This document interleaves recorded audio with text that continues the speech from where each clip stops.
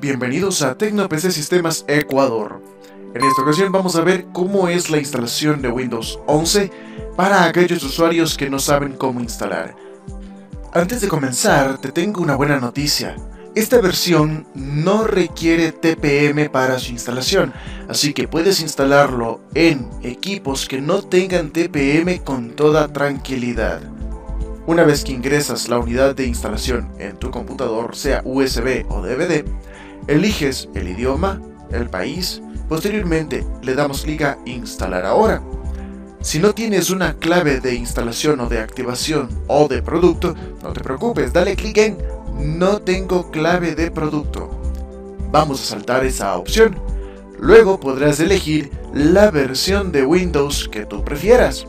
Si tu computador tenía Windows 8 o 10 original en la versión Home o Profesional, este instalador no te mostrará ninguna otra versión adicional que no sea la correspondiente a la licencia original. Es decir, te mostrará la versión de Windows 11 Home o Profesional según el caso. Una vez que elijas el sistema, le damos clic a Siguiente, aceptamos los términos y condiciones, posteriormente le damos Siguiente.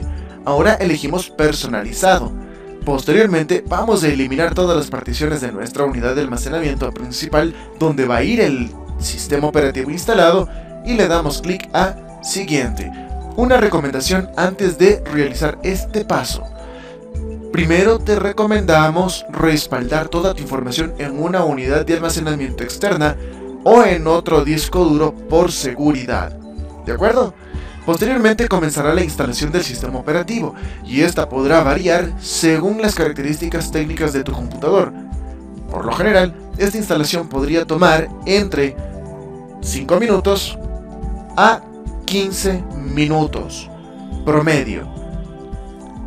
Una vez que termina la instalación inicial, es decir, de instalar el sistema operativo en el disco o en la unidad de almacenamiento, se va a reiniciar el computador. Mientras termina la instalación, quiero comentarte que Microsoft ya no va a dar más soporte a controladores de versiones de Windows anteriores, en este caso Windows 7, Windows Server 2008 y Windows Server 2008 R2. Resulta que Microsoft cierra el grifo de actualizaciones de controladores para esos sistemas operativos.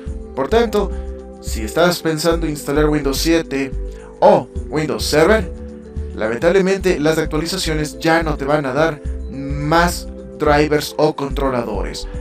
Para ser exactos, el 17 de junio del 2021, Microsoft dejará de publicar drivers o controladores en Windows Update para las versiones mencionadas.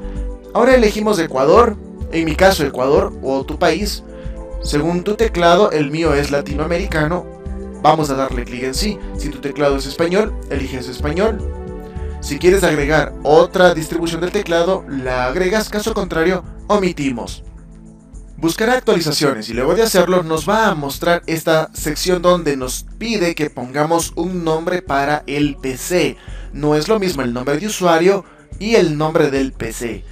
En este caso, el nombre del PC servirá para que podamos reconocer nuestro equipo dentro de un entorno de red. Vamos a ponerle PC1 como ejemplo. Podrás ponerle cualquier otro nombre según tu preferencia.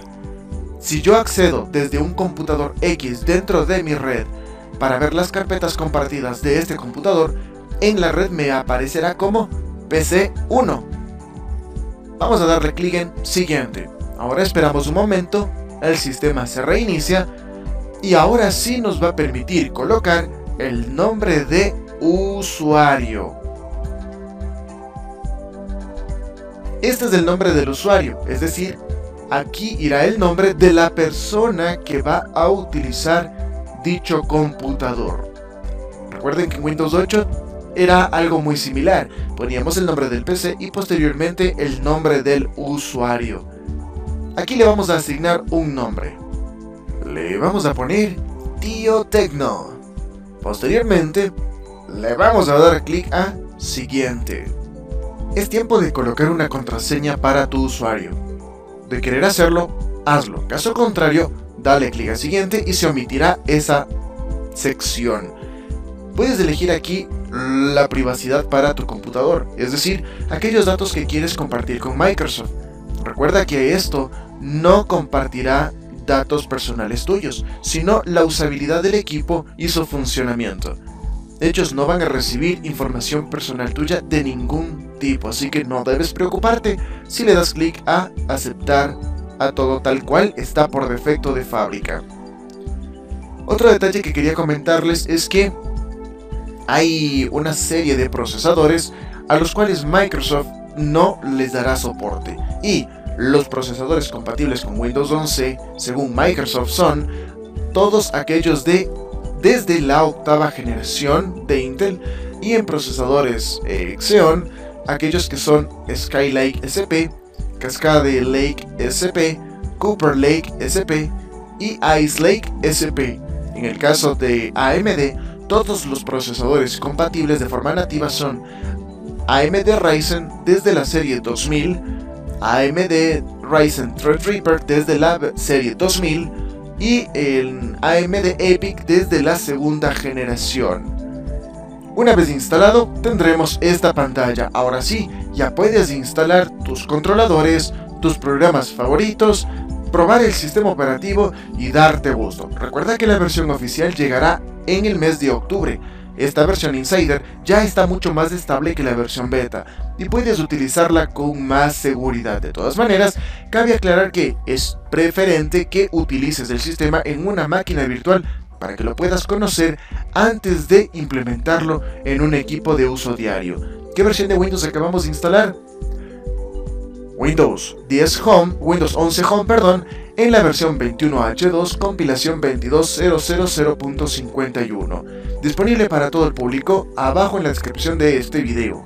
Así que ahí está el link, revísalo y yo creo que eso sería todo por ahora. Un punto adicional antes de terminar.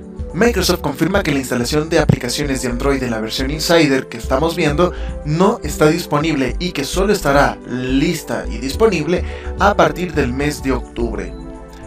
Si ya estás probando esta versión, me encantaría conocer tu experiencia de uso, saber los detalles técnicos del computador donde lo instalaste y no te olvides de darle pulgar arriba a este video, suscribirte al canal, clic en la campanita de notificaciones y hasta el próximo tutorial. Nos vemos.